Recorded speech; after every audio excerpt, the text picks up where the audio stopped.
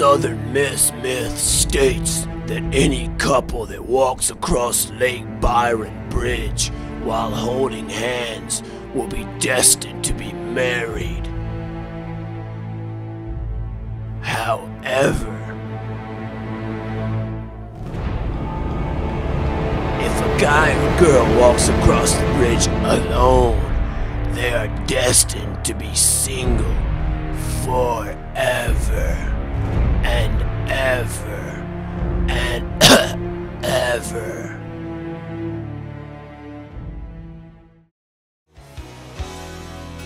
Oh my goodness, I'm so excited this day's finally here.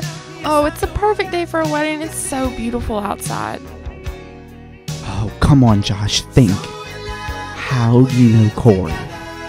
Where'd you meet her? Oh, no clue. Josh, he looks so adorable. His clothes don't match at all. I love that about him. I really wish Corey would let go of my hand. I'm starting to sweat real bad. Where are we going? Why are we over here? This is like the most random part of campus. hmm. I wonder if she's taking me to IHOP. Oh, Corey Bianchini. That sounds so good. I'm so excited. So guys, man, y'all, going to 601? Yeah.